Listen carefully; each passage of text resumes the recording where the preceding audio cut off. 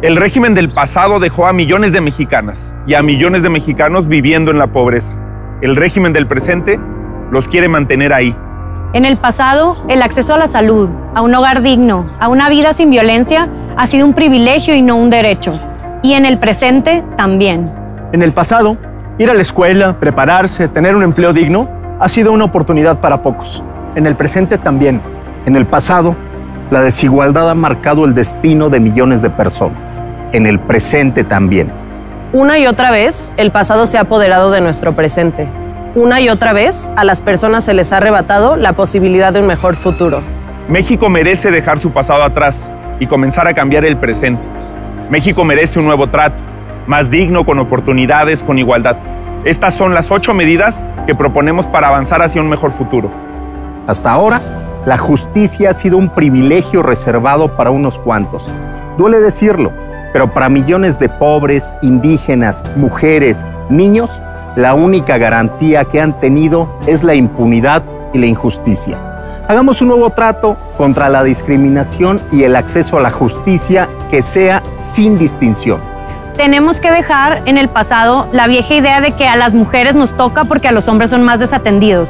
Cuidar a las niñas y a los niños, a las personas mayores, a los familiares enfermos, ha sido históricamente un trabajo que realizamos las mujeres sin recibir un sueldo a cambio.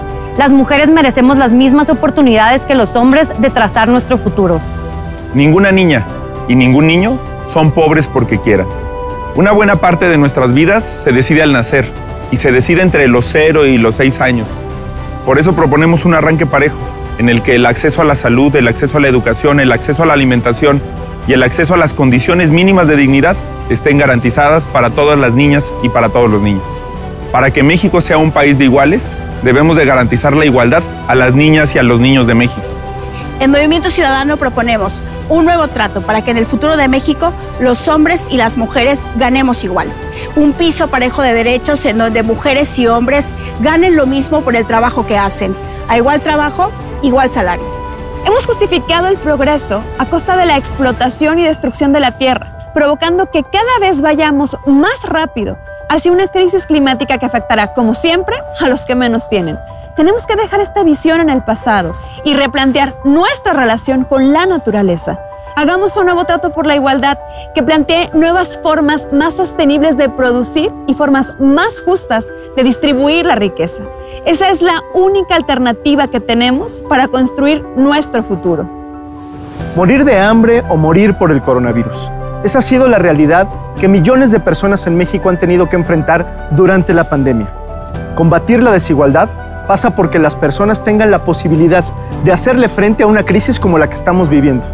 Por eso, desde hace meses, hemos propuesto la creación del ingreso vital y el seguro de desempleo, para que ante una nueva catástrofe, la economía y futuro de las personas estén a salvo. No solo de pan viven las personas, la cultura también nos hace iguales y nos da vida.